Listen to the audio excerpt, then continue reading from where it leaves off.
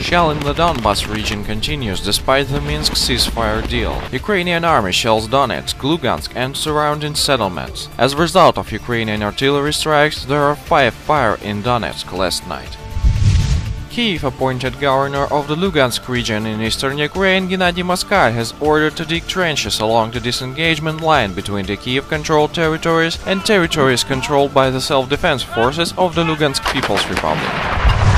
UN General Assembly's Third Committee passed a Russia-proposed resolution condemning attempts to glorify Nazism ideology and denial of German Nazi war crimes. The resolution was passed on Friday by the committee, which is tasked with tackling social and humanitarian issues and human rights abuses, by 115 votes against 3. The US, Canada and Ukraine were the countries to vote against it.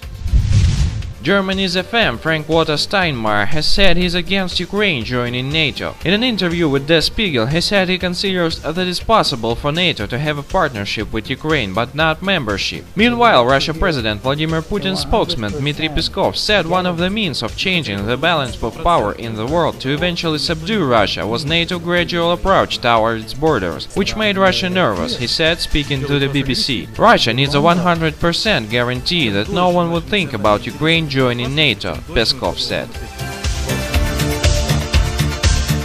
Thanks for watching. Subscribe to our YouTube channel to receive up-to-date news on situation in Ukraine.